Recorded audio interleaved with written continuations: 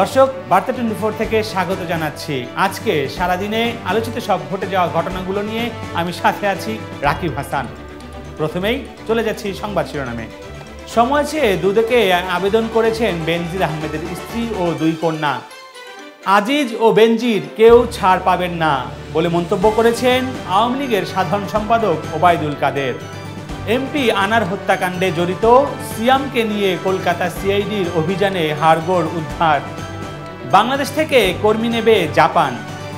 টানা তিন দফায় কমলো আবারও স্বর্ণের দাম।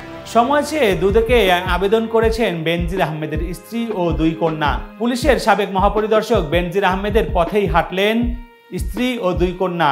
রোববার দুদকে সশরীরে হাজির হওয়ার কথা থাকলেও তারা আইনজীবীর মাধ্যমে দুদকে সময়ের জন্য আবেদন করেছেন।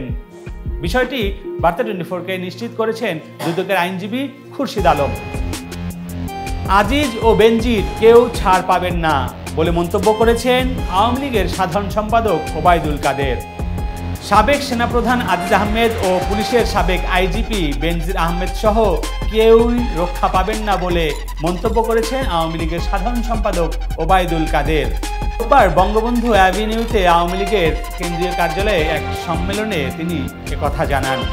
এমপি আনার হত্যাকাণ্ডে জড়িত সিয়ামকে নিয়ে কলকাতা সিআইডির অভিযানে হাড়গোড় উদ্ধার।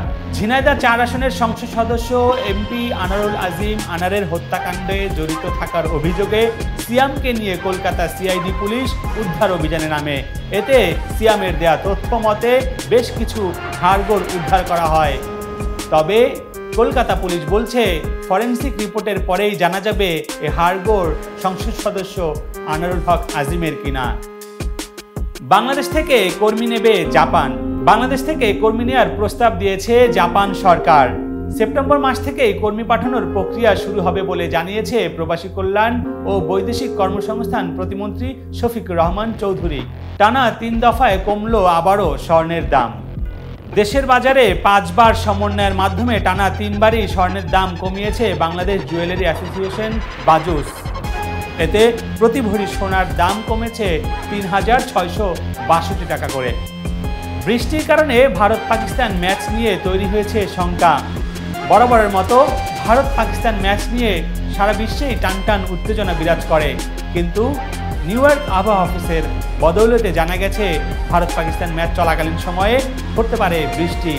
আর এতেই শঙ্কা তৈরি হয়েছে দুই দেশের ক্রিকেট ভক্তদের মাঝে। দর্শক, এই ছিল আমাদের আজকের আয়োজন।